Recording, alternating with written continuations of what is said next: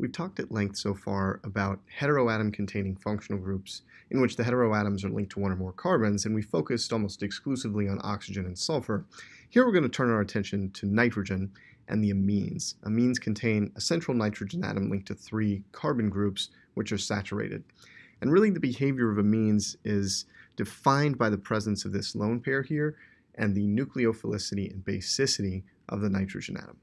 The nitrogen atom of an amine is a great nucleophile, and we'll see this reactivity in a number of different contexts in this series of videos. Looking ahead a little bit, we're going to see the amines again in the context of the amino acids, where a primary amine functional group is a key part of every single amino acid. We'll also see amines in the context of carbohydrates, for example, within glycosylamines. And we'll see amine-type nitrogens in the nucleic acids and specifically their nitrogenous bases.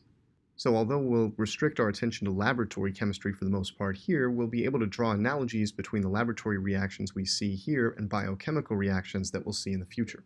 Amines, which we might abbreviate as NR3, contain three alkyl groups or hydrogens linked to an sp3 hybridized nitrogen atom. And these have to be alkyl groups because if this is unsaturated, for example, a double or triple bond, that functional group has a different name. The nitrogen atom is an excellent nucleophile and a pretty decent base. The pKa of the conjugate acid of an amine, an ammonium ion, is about 10. And these find themselves stronger than ethers because nitrogen is less electronegative than oxygen, right? But certainly weaker than alkoxides, which have a negative charge.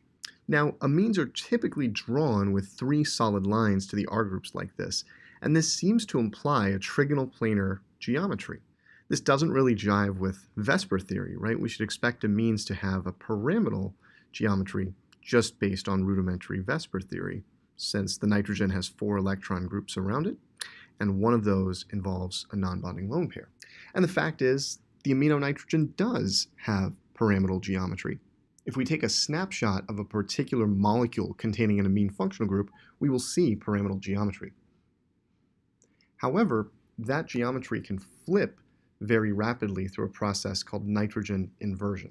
And this is so rapid with such a low activation barrier that on the average, the nitrogen appears to be planar. This is why we don't talk about stereogenic pyramidal nitrogen atoms in amines either. Although it is true that if we had three different R groups here, let's call them A, B, and C, and this molecule lacked a plane of symmetry, it would be chiral, and the nitrogen would be stereogenic the interconversion between these two pyramidal forms of the amine is so rapid that we're not able to resolve either of these would-be enantiomers.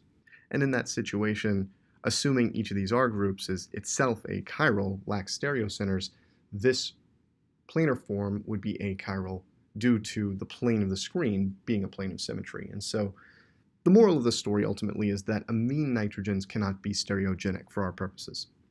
An important nomenclature system for amines involves the number of alkyl groups connected to the nitrogen. When only one alkyl group is connected to the nitrogen, we call that amine primary. When two alkyl groups are linked to the amino nitrogen, we call that secondary. And when three alkyl groups are linked to the nitrogen, we call that tertiary. And of course, the number of R groups is related to things like the steric environment of the amino nitrogen. It gets more crowded as we go from primary to secondary to tertiary. And this also relates to the basicity and the nucleophilic strength of the lone pair on nitrogen. Since, since each of these alkyl groups is inductively donating, we should expect, roughly speaking, the basicity of the amino nitrogen to increase going from primary to secondary to tertiary amines.